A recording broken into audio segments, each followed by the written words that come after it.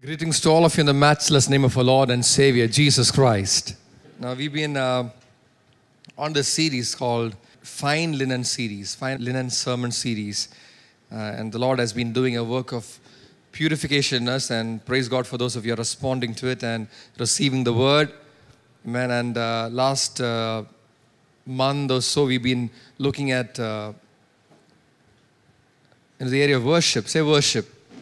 Man there is a there's a joy in being able to worship Jesus. Man, it's a privilege. Say privilege. It's your privilege to worship Jesus. Amen. It's your privilege to worship Jesus. Hallelujah. Amen. So we we were looking at the the three pronged fork. Yes, and we were looking at the three pronged fork. Uh, we saw it in the book of First Samuel, considering the the account of Hannah, the mother of Samuel the prophet. Uh, and we were looking at the context, we were looking at uh, the context of worship. And the Lord has been speaking to us, and we saw it in 1 Samuel chapter 2 onwards how Eli's, Eli the priest, he had two sons by the name. That's good, Hophni and Phinehas. And uh, we see that they used a certain kind of fork to thrust into the sacrifice meat in the boiling pot or the kettle or the cauldron, uh, even before it was burned before the Lord. What the Lord has allotted the, the Levites is to take from that which is sacrificed, a certain section of that uh, sacrifice belonged to the priest. It belonged to them after it has been burnt uh, in the, in the, on the, upon the altar.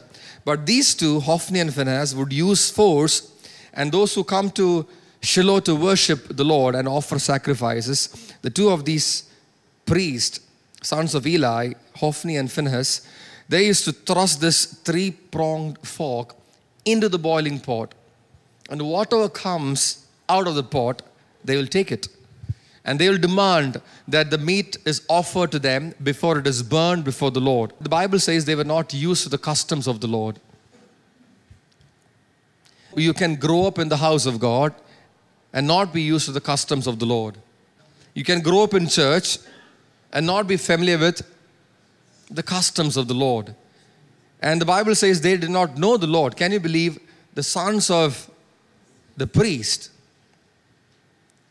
You can be a, a son of a missionary, you can be a son of a pastor, an evangelist, you can be a son of strong believers or a daughter in, in a family of believing parents, but you can grow up without knowing the Lord. There's a danger. That's why we, we talked about it last week. We said it's important, how important it is for us as parents to pray for our children. That they will have a real encounter with the Lord. That their relationship with, with the Lord will not be routed through anybody else. It's not based on the father's account or the mother's account, but they have tasted for themselves. And we must pray that for our children. Constantly challenge them, push them, shake them. We can raise them up, we can train them in the ways of God. At the end of the day, they have to choose for themselves. But the promise is if we train them up, they shall, they shall not depart from it, even when they are old. The importance of training up children in the Lord. So Eli failed to do it clearly because his two sons, they did not, they grew up in the same house. They saw, they witnessed Eli offering sacrifices. But these two sons, Hophni and Phinehas, had nothing to do with the Lord. They knew no customs. Because by way of Levitical lineage, they became priests themselves. But they would not know how to handle the sacrifices. All they were concerned was, what can we get out of this? If your concern is what you can get out of you serving God, you are not uh, having the right mindset. Man, your heart is far from God. So the Bible says that these two, they both despised the sacrifice unto God. Said despised. Strong word. The Bible says that these two despised sacrifices made unto who? Made unto God. The Bible says that they kicked at the sacrifices. Can you think about that? Kicking at the sacrifice offered unto God, the living God, the one true living God. the sacrifices that were brought to him, they despised it so much that God deemed it as being kicked by them. But in stark contrast, in the same context or in the, in the same, same time frame, we see the wholesome offering of Hannah. Say Hannah. Say wholesome. Was she offered unto the Lord her firstborn son in order to keep a lifetime Nazarite vow she made, which she made before he was born, even before she conceived, by the way. She made that vow before God even before she conceived, when she was yet barren. And just to keep that vow that she made in worship unto God, she brought to God this wholesome offering, her, her firstborn son. She weaned, up, weaned the child, made sure that the child is ready to be presented before God. Hello? Think about it. The effort this mother would have taken. Yeah, she took the pain. She, she had sleepless nights. She took the pain. She fed the child. She nursed the child, cleaned up the child, and did all that, weaned the child. And then when she was satisfied to the point that, okay, now I can present Samuel before the Lord, she brought him to the house. Not that she can take him back often, but that he can remain before the Lord all the days of his life. And she would come to the same place every year, year after year, to, to sacrifice unto God. And she would come with a robe. Every year she'll come and gift him with a robe. Hallelujah. Can you, can you just picture this in your mind? Amen. Are you with me? So go the extra mile to make sure that your offering before God is ready. Amen. That, that to make sure that your offering before God is wholesome. Take pains. Take the effort. So we considered how the many types of three-pronged fork are still in, in use, are still seen at the altars of worship in our churches today, in our families today. Hello? Do you know that they're still being in, in use? They're still being used. We can see it on the, on the altars, near the altars of worship. We can see it in the form of attitudes, say attitudes. We can see it in the form of approaches. We can see it in the form of systems in place. We can see it in the form of practices. We can see it in the form of traditions being put into place. We can see it in the form of technology. We can see it in, in varied forms. This three pronged fork, which is thrust into that which is sacrificed unto God, even in the modern day church culture. And we as the church must be mindful. We must be mindful and we must be careful and we must get rid of every three pronged fork in our worship. We must not have any of such three pronged forks when we come before Him. Whether it be our attitude, whether it be our mindset, whether it be an approach, whether it be a tradition or a custom that we follow, whether it be some technology that we are using, if we are, if that is being thrust, that's being, um, you know, used to kick at the sacrifice of God, if that stands in the way of people worshiping Jesus, if that stands in the way of people being able to behold the beauty of the Lord, then we must get rid of such folks. Now, when you read the account, you'll be blown away by how God perceives our worship. The Bible, in fact, the Bible, when you read through the Bible, we will see that God is always watchful. He's watchful of our worship. He looks at our worship. Not just in the, in the Old Testament, we see that in the New Testament also. The offering that, that was made by the widow, the two copper coins. Jesus was watching. He was paying attention to the, the people who are coming to the, off, the, to the treasury and, and putting their offering into the box. Whether you like it or not, God is watching your worship. You must be so God conscious when you are in the presence of God. But we are man conscious when they are when in the presence of God. We will do only the things which are right in the eyes of man. The things which are pleasing to man. Anything that will displease man, anything that will disturb the, uh, the thought process of a man, we will not do. Whereas we must be mindful of God. We must be conscious of Him and His eyes upon us when we stand in worship. And when I say, say, say worship, you know, First of all, we have to start with our act of worship, but you must also understand it, it, it uh, uh, spreads across everything that you do in life, whether you eat or drink. Do it all for the glory of God, or whatever you do. Any, any work that you do, anything that you do in life is an act of worship. It can be an act of worship. You must be so God conscious. Even concerning our work, what does the Bible say? The Bible says, Know that you're serving the Lord, the Lord Christ. Don't do, do your work as a lip service unto man. Don't do it as a as an eye service unto man to please man. Know that you are serving the Lord Christ. Hallelujah. Let's read from 1 Samuel chapter 2, verse 27 onwards. Now, just to see how God perceives the worship and the worshiper, you'll be amazed how God sees, how God looks, how God evaluates. We have this wrong understanding that God is not bothered about any of these things. We have we carry this wrong notion that God is not mindful, God is not watching, God is not looking at these things. But you'll be surprised when you read across the word, when you read through the Bible, you study the word of God, you will be surprised that the Lord is very much involved in your act of worship. His eyes are on you. That's why the, the, the psalm is full of um, expressions of worship, exuberance in worship. Why? Why is that so? Those who wrote those psalms, those songs of worship, they were well aware of the fact that God is interested in our worship, our expressions. Say expressions. So look at this. First Samuel chapter 2 and verse 27 onwards. Then a man of God came to Eli and said to him, Thus says the Lord, Did I not indeed reveal myself to the house of your father? when they were in Egypt in bondage to Pharaoh's house? First question. Man of God came and first question, prophetically asking the first question Did I not reveal myself to the house of your father when they were in Egypt in bondage to Pharaoh's house?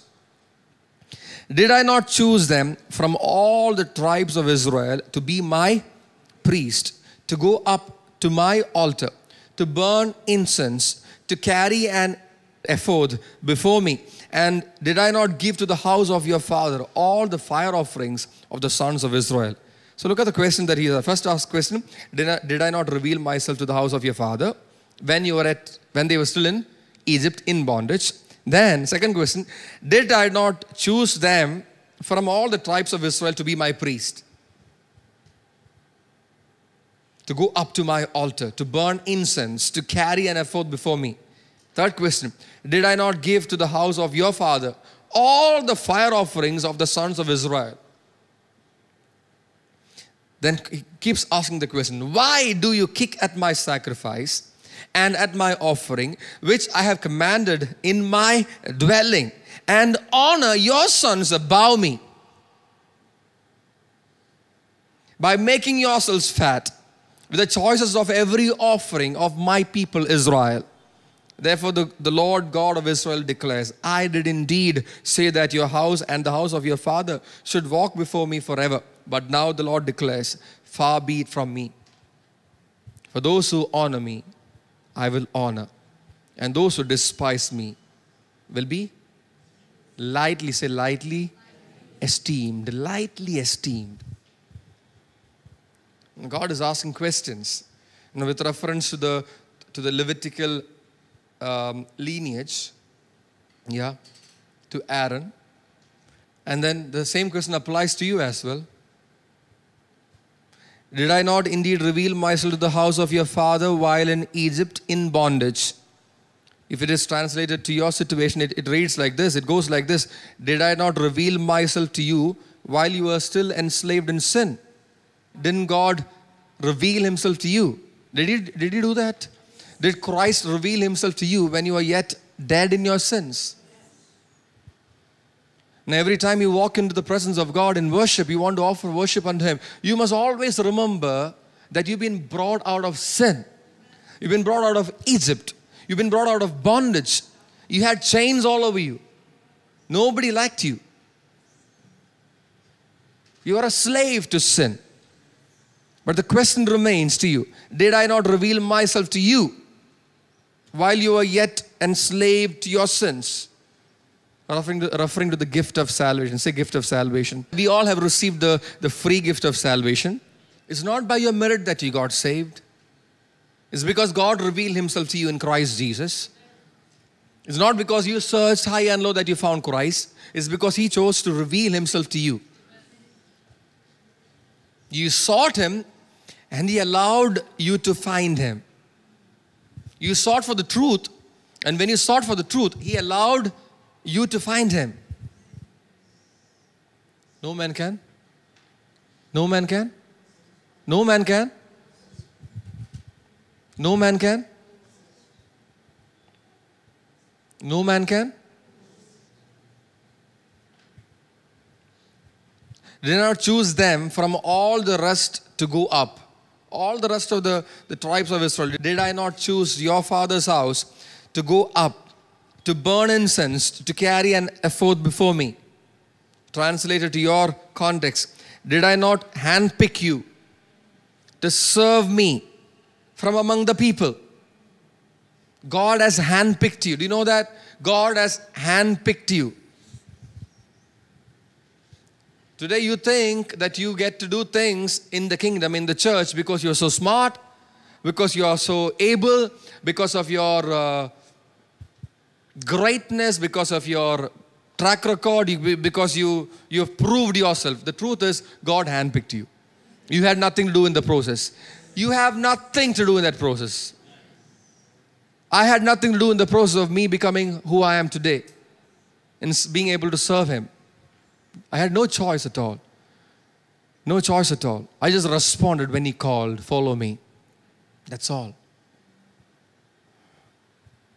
The honor of serving Him. Consider the gift of salvation. Consider the honor of serving Him.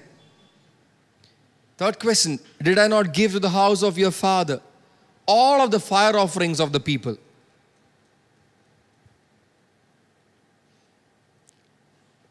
Translated to your situation Did I not allot to you an inexhaustible portion? The good inheritance. When you came to Christ, you have received a good inheritance, an inexhaustible portion of His goodness. Amen. God's provision, which is far above the riches of this world. And some of you, you have to take stock of all that. Now, some of you think that the, the way your life is running is only because you've been working so hard. I want you to know that God has His eyes on you. The eyes of every living creature looks to Him, and He gives them food in due season. You are no different. It's the goodness of God that feeds you. It's the goodness of God that puts food on your table. It's the goodness of God that your children are looking the way they look it's the goodness of God that is that, that is causing you to be clothed.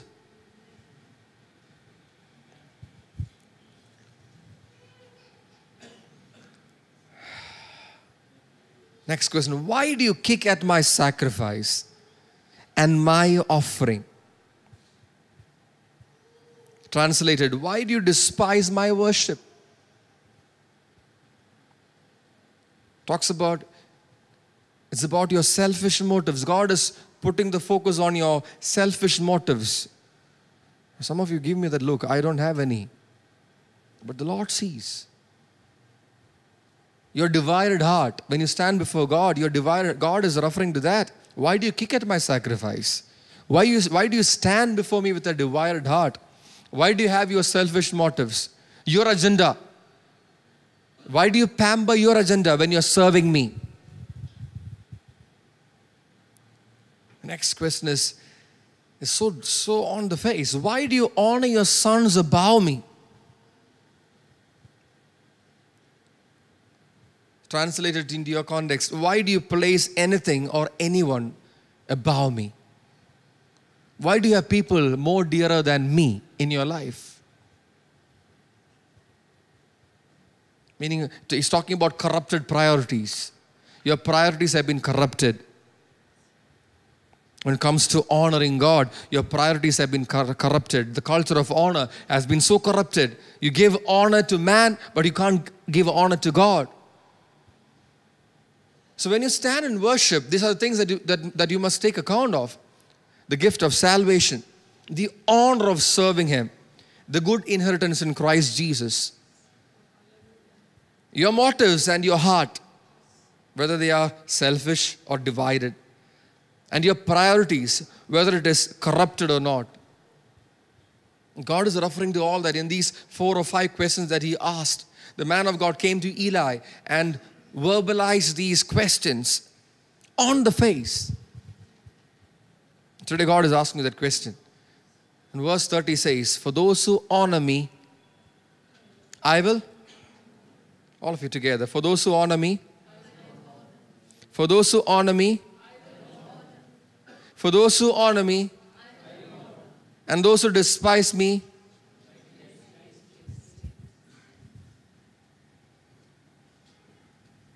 The church must take this very seriously. Take it very seriously. We cannot overlook these principles in God's word. This is the word of God which remains forever. It remains forever. And he says, Those who honor me, I shall honor. Those who despise me shall be lightly esteemed. Don't think that is only for the Old Testament. Don't think that that only apply to Eli and Eli and his two sons. No, it applies to you and I. It applies to the church today. It applies to all generations because it is God's word. It stands forever. Those who honor me, I will honor, and those who despise me shall be lightly esteemed. So, where do you stand? Do you stand in honor unto God, or you, you stand in despising God and His sacrifice? The account we have been looking at shows the contrast in worship. I love the contrast here. This is a con- say contrast. The contrast here is so it's it's remarkable. This contrast is so it's a stark contrast. And do not think that all worship is alike unto God.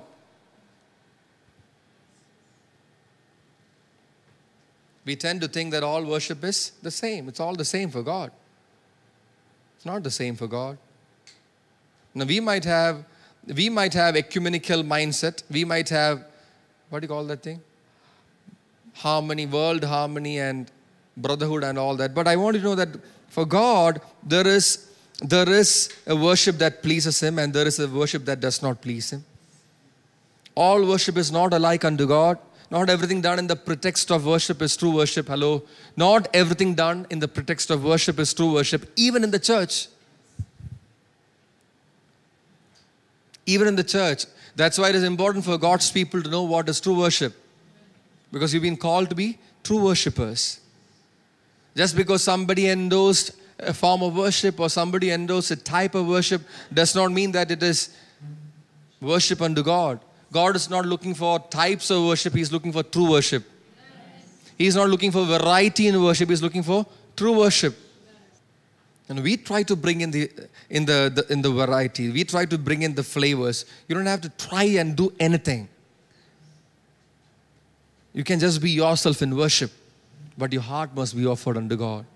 Man, look, look, the Lord had, uh, had a, he had a clear, he made a clear distinction between Abel's sacrifice and Cain's sacrifice. We must get used to that. There's a clear distinction between the worship of Abel and the worship of Cain. And I want you to know that today, ready. Are you ready for this? Are you ready for this? Are you ready for this? Today in church, some of you worship like Abel and some of you worship like Cain. The two brothers, raised by the same parents, living in the same house, under the same roof, given the same set of instructions. Can you, can you think about it? They had nobody else to influence them, also, all by themselves. Had the same kind of influence available to them. One chose to give an offering which pleased God, the other one chose to give an offering that despised God. So today in church, some of you worship like Abel, and some of you worship like Cain. Some of you worship like the sinner woman with the alabaster vial, while some of you worship like Simon the leper. Some of you worship like the widow who put the two mites, two copper coins, all that she had, out of the little that she had, all that she had. And some of you are like the rich people who had an abundance but gave a small little portion out of that abundance. Some of you worship like Hannah, and some of you worship like Hophni or. That's where it is. That's the truth. Now you can, you can, you cannot hide from this. You cannot hide from this. just because you come to church does not mean that you are automatically a Hannah. Does not mean that you're automatically the, the widow with the two mites. Does not mean that you're automatically the, the sinner woman who gave the alabaster vial of perfume. You understand? There is a chance, there's a possibility that your heart is not right with God and that your heart is far from God and you've allowed, you've forgotten the gift of salvation. You've forgotten the priorities in life.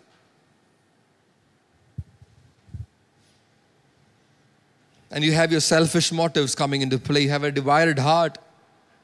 And there is no honor. You feel no honor in serving Him. It's become a, it's become a job. It's become a, just a routine, a mechanical process. But you don't feel the honor. You, can you don't remember that you've been handpicked by God, not because of who you are, but because of who He is.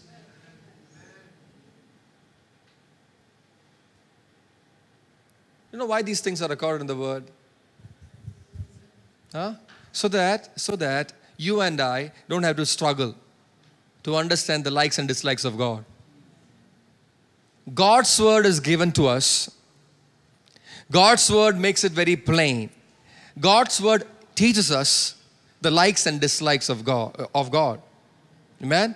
God's word reveals his likes and his dislikes so that we don't have to speculate or do guesswork. Some of us are doing that. We are speculating. We, we're looking at the trends. What is a trend? Maybe God is like that. God is not like anybody else. God does not think like a man.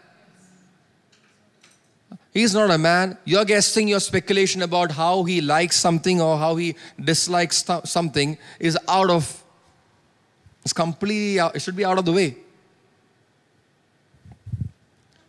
Look into God's word.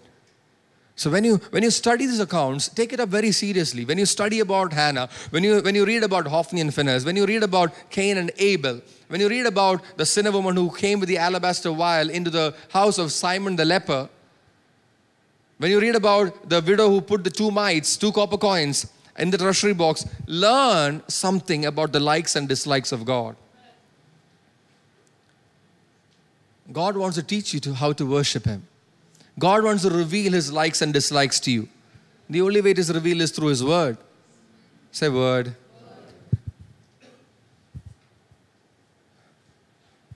So you have to, every time you, you come across a scripture, every time you're meditating on scriptures like this, you must check, where, I, where do I stand? Do I stand like Hannah? Or is there some Phinehas in me, some Hophni in me? Is my offering looking like Abel's offering? Or does it look like Cain's offering? Where do I stand? The two contrasting approaches in worship one that of Hannah with a wholesome offering, and one that of Hophni and Phinehas with their three pronged fork. Know that one is the way that pleases God, and the other is the way that displeases God. Are you able to make sense of this? It's not just a story that you learned in Sunday school, by the way. Hello. For some of you, ah, I have learned about Hannah. I remember Hannah, Sunday school story. Do you know that it, it, applies to you today? When you stand before in, God in worship, this applies. The truth of this word applies to you. It helps you to worship the way He wants you to worship. And I just strongly feel that the Lord is waiting to hear vows made in deep worship unto God from this church, from you. He's waiting. Hannah kept going to the same place over and over, did the same kind of worship, the same offering. That she followed the patterns, she followed the trend, she followed what was stipulated, she followed what her husband encouraged her to do. But one fine day, she realized that this is not enough. There is so much more to worship than this. So even before, even without checking with with uh, Elkanah, even without consulting with any man, she stood before God. She poured out her heart unto God in prayer, in deep worship, and made the vow that I'm going to offer my son, even before she conceived, even before she had relationships with Elkanah anymore. That is worship. Say worship. Say worship.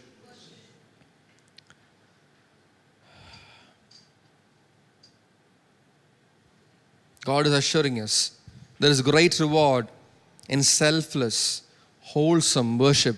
The Lord is speaking to somebody here. There- There's great reward. Say great reward. There's a great reward in selfless worship. There's a great reward in wholesome worship. Don't miss it. Don't miss it. You must not miss it. There's a great reward when you offer unto God your wholesome worship. If you're the type that, that goes to the same, comes to the same place and does the same thing, and there is no change in the way you worship, there is no heart in it, it's become a very it's a monotonous, routine, uh, mundane process for you, then there's something is wrong. You're not gonna enjoy the blessings of wholesome worship. You're not gonna enjoy the blessings of selfless worship. You have to go beyond the norms. You have to go beyond the, the usual. Huh? You have, to, you have to be ready. You have to come prepared with the alabaster vial. That is just precious to you. You have to come prepared to break it at the feet of Jesus. You have to let go of your, your pride. You have to let go of your dignity. What would people think? And let go of that. Drop it. Your sophistication, drop it to the ground. Discard it. It will not fetch you any good. Then why are you carrying it? But your selfless worship before God, it'll bless you. It'll change your situation. It'll take away the label of shame. It'll break the reproach of barrenness over your life.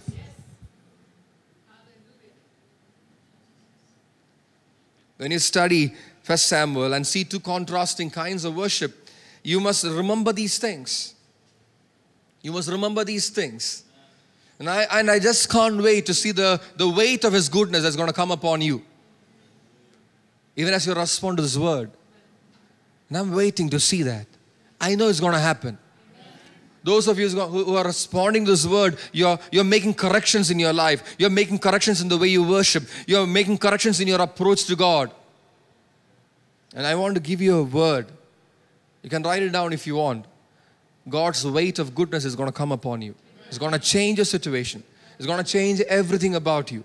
No man will be able to stand in the way. No man will be able to deny it from you, take it away from you.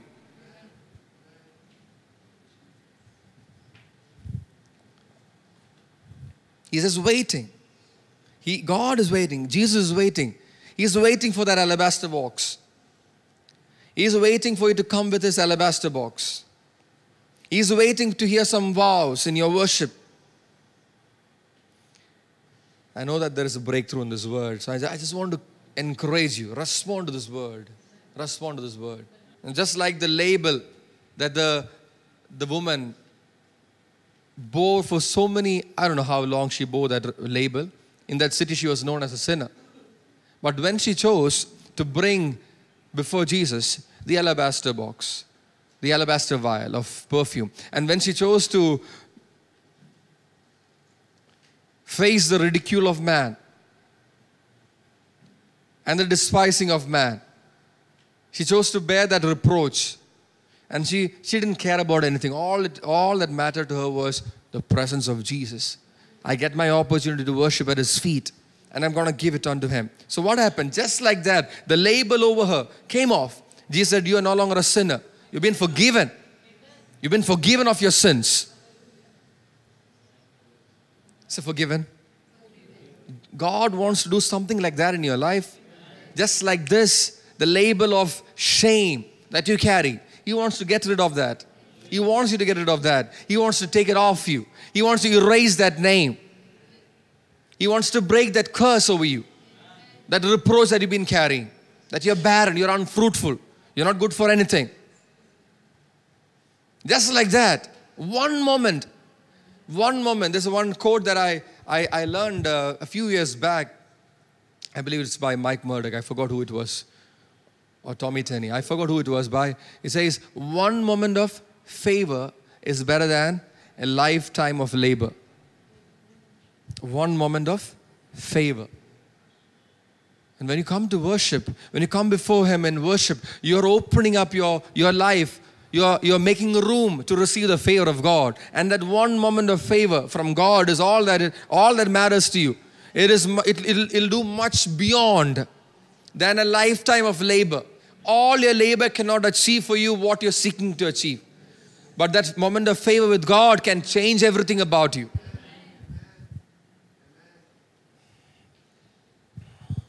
That's what happened to Hannah. She tried. They waited every month. She probably would have been waiting to hear the good report, the good news. Nothing happened. She went every year to offer sacrifices, the same way she used to do it. She kept hearing the reproach from her rival, Peninnah. Nothing changed.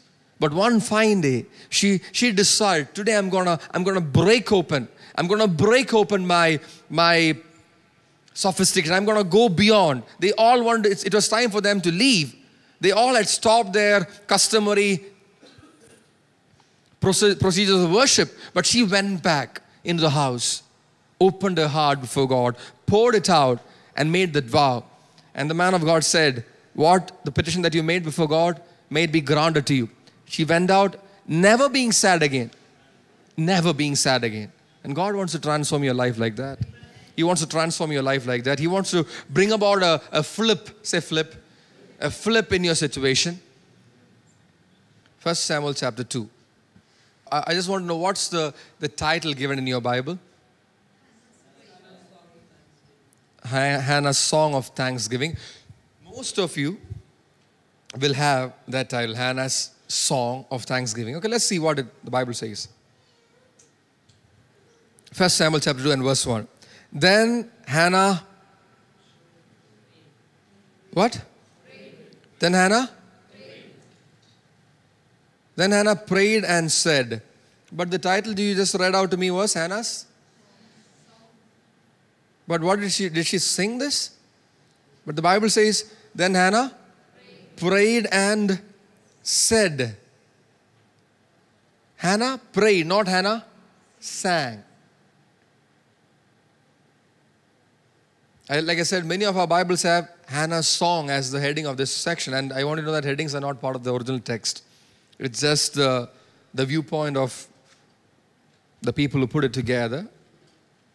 But the actual te- text does not say that Hannah sang, but that she she prayed. She prayed. Hannah is like that. If you notice, if you remember in the first chapter, uh, why did she go to Shiloh? No. To offer sacrifice, to offer worship. So, what do you expect when you are standing in worship? Yes, it's a song. You're modern day Christians. Tell me what. When, when you hear worship, what do you think of? Think of? You think of the guitar, the keyboard, right? Tell me the truth. You, you think of music. You think of bands and musicians. So, but when she went up to Shiloh to worship, there was no band mentioned there, there was no song going on. All we see is she prayed. She poured out her heart before God in prayer. So when, when we expect Hannah to do a song in prayer, in, in worship, we see her praying in worship. And here, when this is now in chapter 2, after she received a miracle and she brought to uh, Eli her firstborn son, we expecting her to sing, break forth into a, a song. But here we see that a song is now not being sung, but she's praying the song. Are you getting this? Hannah is like that. You know, for, for her, you know, see, we must come to a place like that. We must come to a place like Hannah where we can hardly distinguish between worship and prayer. We must not be able to distinguish between prayer and worship. It's, it's one and the same. When you stand in worship, you're praying. And when you're standing in prayer, you're, you're worshiping. You're singing. But you're praying the song. Today we have demarked, in the church today we have demarked time of worship. Wednesday worship. Friday, Friday prayer. Sunday, little prayer, little worship. So in our mind, we, for, for us it's all demarked in our mind. There is no prayer in worship, there is no worship in prayer. But look at Hannah, when she stood in worship, she was praying. And when she was in a song, she was not singing the song, she was praying the song. And when you study God's word, you will see that nobody ever wrote a song for the sake of writing a song in the Bible. Hello. You will not see a single person in the Bible who wrote a song for the sake of writing a song. They were not after record labels or YouTube releases, nothing of that sort. The reason they came out with a song is because it came, it was birthed out of their prayer. It was birthed out of their intimacy with God. That's why it is full of revelation. Today we are guilty of dividing and demarking our prayer and our worship. Our worship must become so full of prayer. Hello? Your worship must become so full of prayer. And your prayer must rise up before God like a song of praise. That you're not, you're not struggling. You're not struggling in prayer. You don't know what to pray. Look at this. She stood and she's praying. How she's praying? It's full of rhythm, it's, it's full of poetry, it's full of theme. Today we are struggling. If somebody, uh, uh if, if, if I were to ask somebody to come and pray, you'll be like, okay, Pastor. Because you don't know that prayer should rise up from you like a song. Don't divide. Every spiritual song in the Bible was birthed out of moments of prayer. Every, every song that we, that we see in the Psalms, it's all birthed out of people having a connection with God. It was not written for any record label, like I said. It was not uh, written for any celebrity status. It was not written down for social media or anything of that sort. It was written for But centuries later, we are still looking at those songs. We can hardly remember, remember songs which are released last year. But we can remember, we can, we can read these songs and, and, and find deep things about God from the songs which are written centuries back. Timeless, say timeless. Hannah's song is a timeless, a timeless song, a timeless classic. Mary's song is a timeless classic. Moses' song, timeless classic. Deborah's song, timeless classics. It has, it has stood the test of time. It has stood the test of change of technology. It remains. Hallelujah. Every prayer which is offered in scripture was rhythmic and poetic because it was the way of life for the saints of old. Your prayer must be so rhythmic. I'm not, I'm not talking about rhythmic as in you know, next, next time don't feel pressure to be like rhythmic in prayer. What I meant is your prayer must be so ready. You must, your heart must be so full of prayer that you don't struggle in prayer. It's almost like the, those who read through this, this text, they can't make out whether she was singing or praying. The text says she was praying, but the, the, the way it is, the way it has come forth, it looks like a song. So the heading has to be Hannah's song. But the, the first verse says, Hannah prayed and said, Are you, are you getting something here? Hallelujah. Praise God. May you be able to worship God in prayer. May you be able to pray in song. Hallelujah. May your worship be in prayer and your prayer be in a song. If that's the case, then every time you sing a song, you'll not be disconnected. When you sing a song like You're worthy of it all, you know that He is worthy of it all. When you sing a song like I lift my hands up and lay my whole life down, you can't, you are, see, some of, some of us sing like, you sing it in, in pitch, in harmony, in, in rhythm, in tempo, but your heart is far from it. You just said your whole life you want to lay down before God. Are you really willing to do that?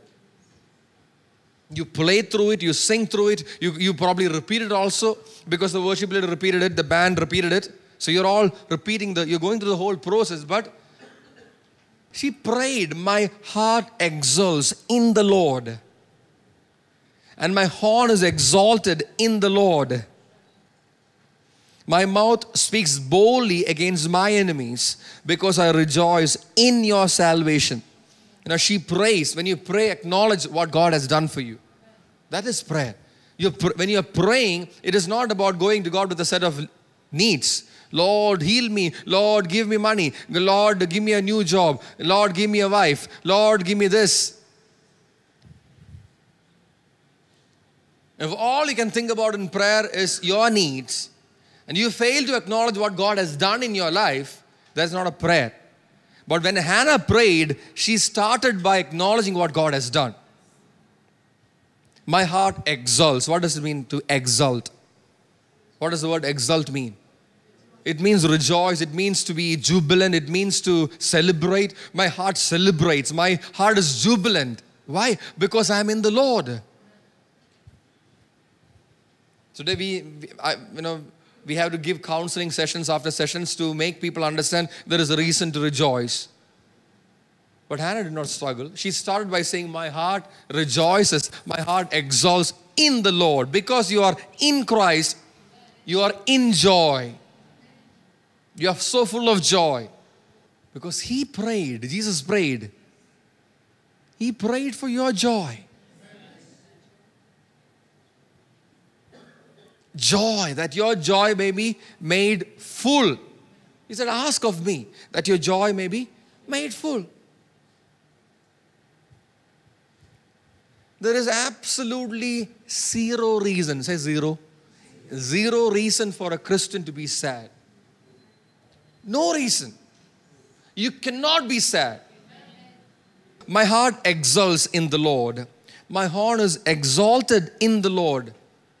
Okay, I'll just say it like this. If you're not able to find joy in your Christian life, it's your problem. It is not God's problem. The only reason a Christian can't rejoice is not, not, there's nothing to do with anybody else. It's nothing to do with people. It's not nothing to do with the church. It's nothing to do with the pastor. It's nothing to do with your parents or your house or anything like that. The only reason why a Christian can't find joy is because their heart is not in the Lord. Simple. If you are in the Lord, you will exult. Say exult. And you will rejoice. My horn is exalted in the Lord. My horn is exalted. See, eh, the Bible says, I think it's in Psalm 70 or 75 says exaltation does not come from the east or from the west or from the desert i like that that, that detail not from the east or from the west or from the desert and keeps it there hallelujah your exaltation come from the my horn is exalted say in the lord don't seek exaltation in the east or in the west or in the desert where you'll only be scorched. I'll repeat that one more time. Don't look for your exaltation in the east. Is that east? Yeah, that's east, correct. East or west or in the desert where you, you will only be scorched under the strong sun. Your exaltation comes from the, the Lord. It comes from the Lord. And today's word is for those of you waiting on Him for exaltation. In due time, He will exalt you. This word is for you, only for you, not for everyone, it's only for you. Amen. If you're just one person like that in this church, it's for you. God has sent me just for one person's sake, I believe, if that's so. Exaltation. My horn is exalted in the Lord. My mouth speaks boldly against my enemies. So boldness is from the Lord, not from personality development programs. Boldness comes from the, Lord can make you bold. You know, I've, I've run out of, I mean, I've, I've, I've, I've lost count of the number of people I've met who have come to the Lord and have become bold. I've seen the change, including me, by the way. Amen when you come to the Lord, there's a boldness that comes about you. It comes over you. It makes you bold, like a lion. Man, my mouth speaks boldly against my enemies because I rejoice. Now, who is my enemies? Now, Hannah is writing this song, and you have all the reason to think because the Bible also says that her rival provoked her. So, by when she sings this song, when she says my enemies, she is referring to Peninnah. But I want you to know prophetically, she is not referring to Peninnah here. Peninnah is far from her enemy. Peninnah is nothing. in comparison to Hannah. Hannah is favored. Hannah is graced. Peninnah cannot be an enemy to Hannah. When, when Hannah says, my enemies, she's referring to God's enemies. Everyone who stands against God, everyone who's got thoughts, lofty thoughts raised up against the knowledge of God, they are my enemies. So she says, My heart exults in the Lord. I'm happy. I'm celebrating. I'm rejoicing in the Lord. My heart is exalted in the Lord. I'm not exalted because of man's um, work on me, not because of man's provision, not because of anything like that, not because of man's favor, because of God's favor. And he, he goes on to say, My mouth speaks boldly against my enemies because I rejoice in your salvation. Say, Your salvation. Hallelujah. It means I've tasted of your power to save. I've tasted of your power to save. She's acknowledging the opening line of her prayer is full of acknowledging who God is. In fact, through this prayer, you'll, all, you'll, you'll, full, you'll see it all across this prayer. Your prayer must be so full of acknowledging who God is. You must acknowledge God in every line of your prayer. You must acknowledge the power of God in every prayer that you make. Prayer is about acknowledging who God is. You stopped acknowledging yourself and acknowledge God. That is prayer. You've been trying, trying, trying, trying, nothing is working. And finally say, God, you're able. Prayer. Amen. You've been trying, like you're going for that person for help, to this person for help. You're running after everybody that you know. Nobody's able to do anything in your life. And finally, you come to the Lord and say, Lord, help me because you're able to help me. Prayer. Amen. That is prayer. When you acknowledge God for who He is, that is prayer. You see that across this, this prayer made by Hannah. She's acknowledging God. Every line of this prayer, she's acknowledging God for who He is. He, he has done something. Verse 2 There is no one holy like the Lord. Say, holy. No one holy like the Lord. Indeed, there is no one besides you, nor is there any rock like our God. Hallelujah. When you read this prayer, you must go like, I mean, the question that you must ask yourself is God your only source? Is God your only source? Or is He just among the many for you? It says, There is none beside you. Is it true in your life? Or do you have so many support systems in your life? Is God one among the many support systems that you have in place? Or do you have others beside Him to help, to deliver, and to comfort you? Man is, I'm telling you, the man, the, the corrupted heart of man. He will say one thing and do another thing. With his mouth, he will say a lot of, I trust in God and this and that, but he will be the most faithless person that you can ever see. He will do all kinds of things that the world will do just to make sure that his life is safe because he can't find safety and security in the Word of God. That's the beginning of his failure. When you can't find safety and security in God's Word, that's the beginning of your fall. When you have so many like the Lord, see, she said, There is no one holy like the Lord. There is none, no one besides you, nor is there any rock like our God. When you find what is holy, the, when you see the word holy, holy is a description that can be attributed only to God. So when she says there is no one holy like the Lord, it just means there is no one like God. There is no one who can replace God. If you have replacement to God, replacements to God, if you have substitutes to God, then you'll, you'll not be able to pray like this.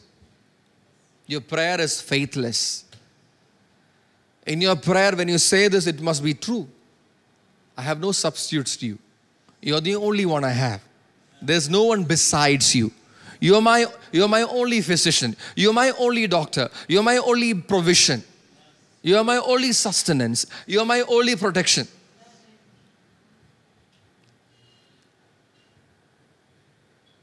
And it's like, you know, you put all the eggs in the one in one basket. That's not what the world teaches us. Don't put all your uh, eggs in the uh, eggs in one basket. Don't put uh, all your eggs in one basket. That's what the world teaches. But you know, the word says, put all your eggs in one basket. Faith in God. Everything. Everything about your life, your future, your children, your family, your ministry, your finances, your provision, your wealth, everything that you need in life, if you can put it all in the one basket, that is trust in God, then you can truly pray like Hannah prayed. There is no one holy like you. There is no one beside you. There is no rock like our God. And that's where God wants us to be. That He is your only source, only trust. He must become your only trust. The only one that you trust. Verse 3 Boast no more so very proudly. Do not let arrogance come out of your mouth. For the Lord is a God of knowledge, and with Him actions are weighed. Allow this. I hope uh, by now you understand that Hannah is not just trying to write a, a few, few song, a few, a few lines in a song, but that she is declaring things prophetically. This is prophecy in coming forth. Prophecy is, um, like they say, forth telling, speaking forth the glories of God. That's what is happening here. She is f- speaking forth the glories of God, and she is speaking all this in accordance to God's heart and His will. And in, in doing that, she is even speaking in opposition to the evil practices of the day. Like I said, she is not just talking, he is not talking about Peninnah. She's even talking about, even unknowingly probably, even unintentionally, she's even pro- talking about the evil practices in the temple of God committed by the sons of Eli. She's not even probably not even thinking about it when she's doing it, but she's doing it prophetically. And she's saying, Boast no more so proudly. Do not let arrogance come out of your mouth. For God is the God of knowledge. God knows. He knows what you're doing. He knows everything about you. In fact, the next chapter reveals that God knows everything. God knew everything about what these two were up to. That they were thrusting the three pronged fork, that they were trying to get the meat before burning. He even knew that they were, they you know what he, they did? The, the worst thing that they could do was they laid with the women who were serving at the temple. Adultery in the temple, in the house of God. And the Bible says God knew everything about them. Not just God, even their father. He said, I'm not hearing good report about you. They call, he called the two sons. Eli called Hophni and Phinehas and said, I'm not, what that which I'm hearing about you is not good. If you sin, if a man sins against man, then God can moderate, God can mediate. But if a man sins against God, who will come to the rescue? He's asking all that, all those questions to his sons. But the Bible says, yet they did not repent. Because God did not allow them to repent. God did not allow. God did not allow them to repent. God wanted to put them to death, the Bible says. Their heart was, their hearts were so hardened, so full of themselves. There was no space for repentance. For the Lord is a God of say knowledge. He knows. Maybe your brother, your sister, your best friend, your father, your mother may not know the things that you do in secret, in hiding. But God is a God of, and with Him, what are weighed? Actions are weighed. He weighs actions. God will weigh the actions of man. I hope the New Testament church understands these scriptures. God is a God who weighs the actions of man. He still does that. And with him, actions are weighed. The, the, for the Lord is a God of knowledge, and with him, actions are weighed. Verse 4 The bows of the mighty are shattered, but the feeble gird on strength. What happens when the bows of the mighty are shattered? What happens when the bows of the mighty are shattered? They cease to become mighty. All that they had to display their might was the bows that they carried. When the bows are shattered, what happens? They, they cease to become. And but what happens on the other side? But the feeble gird on strength. If you're feeble, the Lord will clothe you with His strength. This is, God is speaking to you very specifically this morning. It's a specific word coming to you, prophetic word coming your way. God is assuring you that things are about to shift. Tables are about to turn. The tide is about to change. Now we sang that song. They say that the tide will never change. They've not, they've not seen what you can do. There's power in your name. Amen. I want to tell you, I want to prophesy over you. Things are about to shift. The tables are about to turn. The tide is about to change. God's favor is going to come upon those who love His word and those who submitted to Him. True worshippers are going to experience the, the rich favor of God like never before. The weight of His goodness will come upon you. And no man can do anything about it. Amen. No man can do anything about it. Hallelujah. So things are about to shift. If this word is for you, say amen. Things are about to shift. Things are about to shift. Amen. Verse 5 Those who were full hire themselves out for bread, but those who were hungry cease to hunger. Look at the contrast here. Everything is about contrast. I would call it, if I were given the, the chance to, to compile the Bible and put headings, I like putting headings, I like giving titles. I would give it like this the contrast in the eyes of God. Something like that. It'll be about the contrast. Look at this. It's all about contrast. It's about the contrast between Hannah's worship and the sons of Eli's worship. It's about how contrasting things are going to happen. Those who are full will hire themselves out for bread, but those who were hungry will cease to hunger. Things are about to change. The full will hire themselves out to for bread, and the hungry will no longer be. Hallelujah. I don't know about you, but I'm I've been hungry for a while, but the Lord is giving me this word that I'm not I'm not going I'm come to I'm going to come to a place where I will no longer be I will cease to hunger. Because God is in control. Amen. This, this, this, this is about God is in control. This, this prayer reveals that God is in control. Amen. Even the barren gives birth to. But she who has many children languishes. When God is in control, impossible things will come to pass. Now, if, if the barren gave birth to one child, everyone will say that's fluke. It, I mean, happenstance, it can happen. Coincidence, it just happened. But if a barren woman gives birth to seven children, nobody will utter a word about, people will not even, will not even remember that she was once barren. They will not even remember. That's why the Bible talks about you will remember your reproach no more. You will, you will not remember the shame of your widowhood. That's the work that God wants to do in your life when barren woman gives birth to seven children it's only the result of god doing something.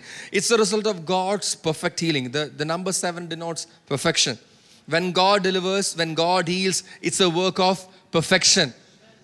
When if god were to heal you it's a healing of perfection. It will stay. It's a complete healing. Confess it now, some of us, like, we are excited when some word of healing comes our way. We confess it for a season and then we stop. No, don't, don't stop. Keep confessing it because if God heals, it is perfect healing.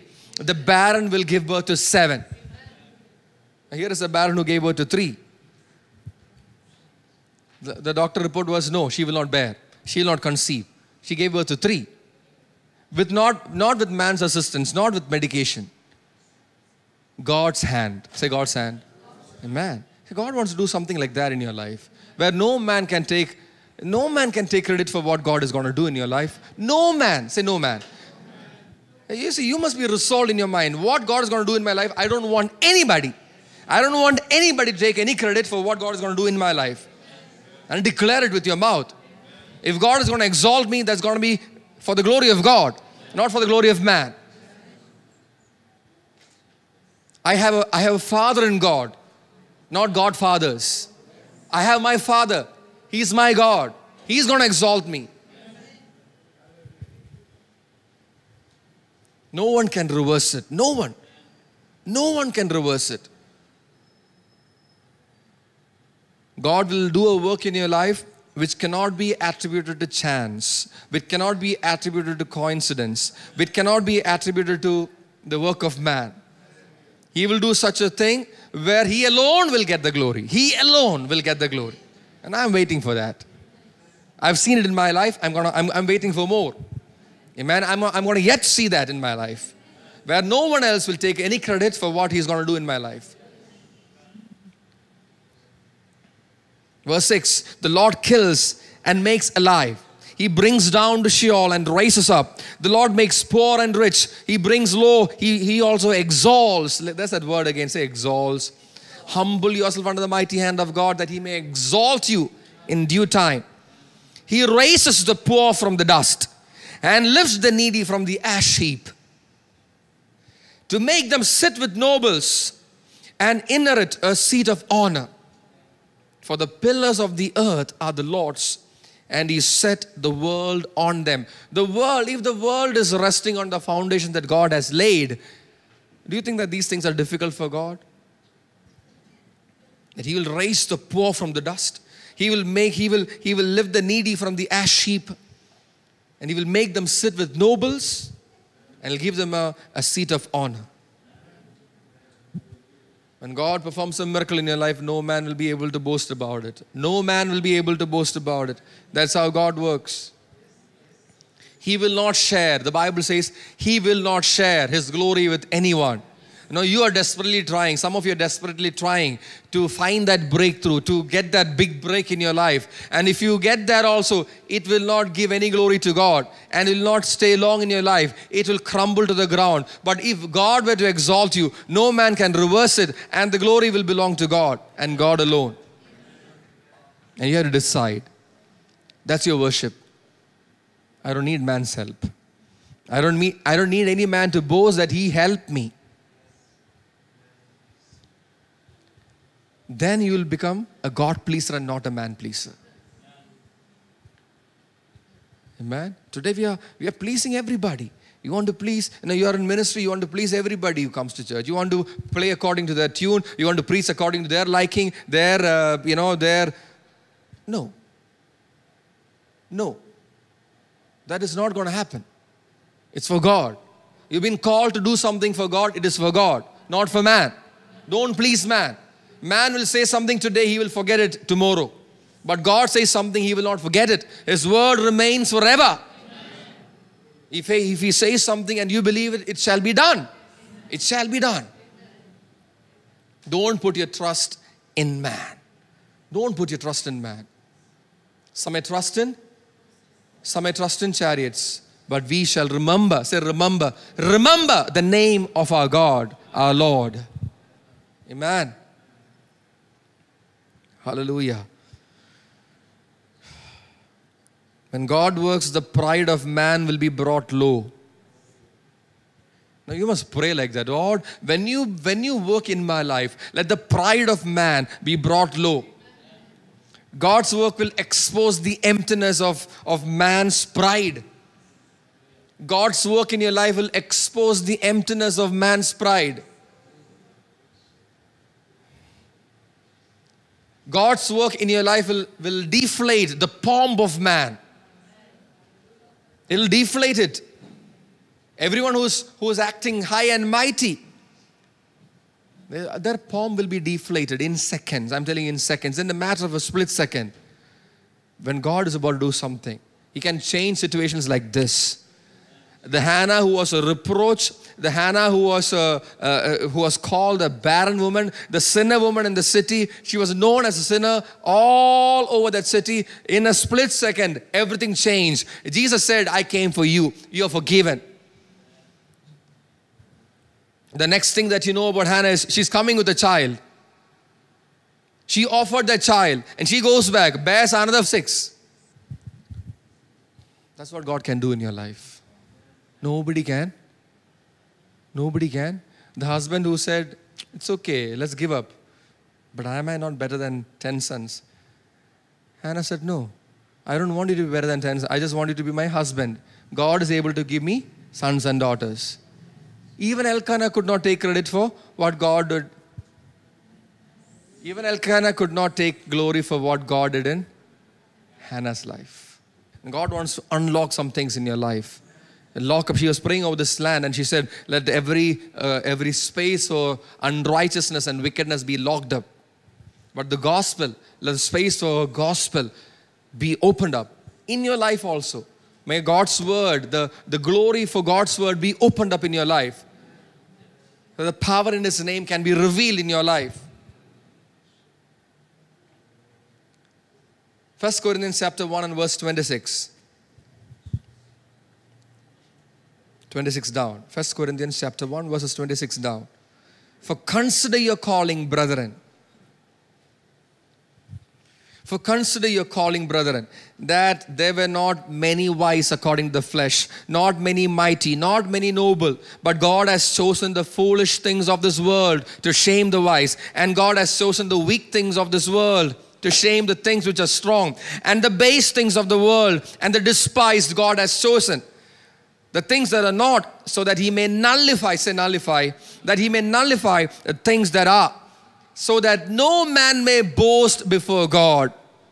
But by his doing, you are in Christ Jesus, who became to us wisdom from God and righteousness and sanctification and redemption. So that just as it is written, let him who boasts boast in the Lord. Now, this is God's express desire, his express interest his express interest that no man may boast before him. Don't try to do PR work for God. I want you to know that this is, uh, this is my God. He will not allow man to boast. He will not share his glory with any man. No man may boast, meaning no man may boast. And if anyone boasts, let him boast in the let your boast be in the Lord. May morning, may in the morning, let, let it be in your life that in the morning, in the in the noon, in the evening, in the night, every time of the day, every hour of the day, all you have to say is the mighty works, about the mighty works of God. God did this, God did that. Everyone who comes to your place, everyone who, who meets you, everyone who has a meeting with you, an encounter with you, they will only hear about what God has done. The only time you open your mouth is to speak forth what God has done in your life. Oh, how I wish our lives were like that, simplified. It's so simple. And today we are crying about this and, and cribbing about that and complaining and murmuring about everything else. All, all that you have to do is focus on who God is, attribute to God, acknowledge Him for who He is.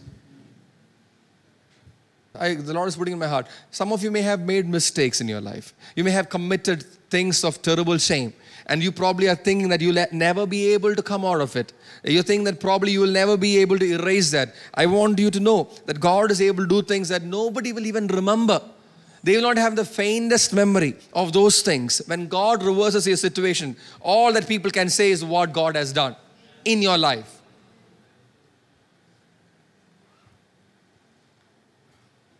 Your mistakes does not stand in the way of God doing a work in your life. His ways are beyond your ways. His ways are beyond your mistakes and your shortcomings and your foolishness. But you have to surrender and you submit and say, Lord, enough is enough. But I want to come into your presence. I want to stay where you are. And I want that thing to happen in my life according to your will. And be given to God. Be given to the glory of God.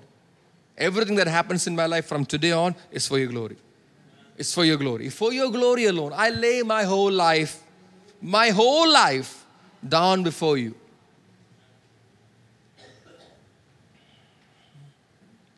Verse 9, going back to the first Samuel chapter 2. He keeps the feet of his godly ones. I want you to take a good look at your feet. It's a terrible thing you when you when you stumble and fall. It feels bad. It feels it's a, even for even for kids, you know, even for the kids, if they fall, it's a it's a something that they don't they don't like to remember that. They, they just want to like they hope that nobody's watching them. They're hoping that nobody saw that. It's a it's a very weird feeling. But the Bible says he keeps the feet of his godly ones but the wicked ones are silenced in darkness. For not by might shall a man prevail. Oh, I'm, now when I read this, I, can, I just feel like going to sleep. I just want to go and sleep. I just feeling like taking a break and just, just going, just resting. Because it's not by might shall a man prevail. It's not by might. It's not by power. It's by the Spirit of God. It's by the Spirit of God. It's the anointing in you. Amen. That causes you to prevail over situations. Hallelujah. Those who contend with the Lord will be shattered. Against them, he will thunder in the heavens. The Lord will judge the ends of the earth and he will give strength to his king. And the horn, and will exalt the horn of his anointed. Hallelujah. He will exalt. You, see that three times in the scripture. Three times we read that in this prayer. He will exalt. He will exalt. He will exalt. He will exalt. The Lord wants to you, He will exalt. He will exalt you in due, due time. Humble yourself under the mighty hand of God. Depend on the grace of God. Don't try to make room for yourself. Don't try to create anything for yourself. Wait on God. Wait on Him. Wait silently on the Lord. Amen. Wait upon Him. And He will exalt the horn of His anointed. Verse 11 says, Then Elkanah went to his home at Ramah, but the boy ministered to the Lord before Eli, the priest. The boy, what? The Bible does not say the boy played, the boy like was, was put in foster care. The boy was, it says the boy, the boy ministered. The boy ministered, it says.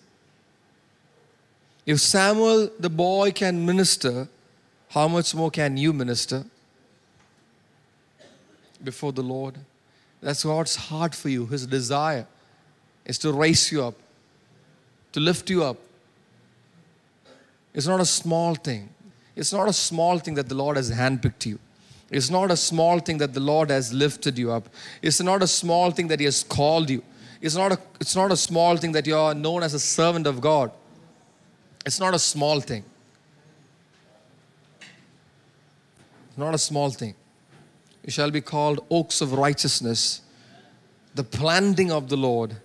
And you shall be called the servants of the Most High God. And the work of your hands shall be established.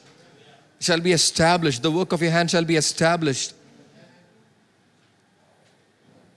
But you shall be a minister, a minister unto God. You shall minister unto the Lord. You shall stand before God.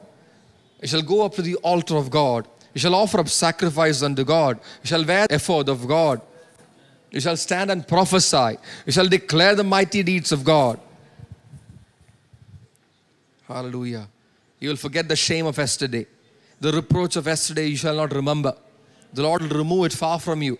He, he shall wipe every tear from your eyes. He shall wipe away every tear.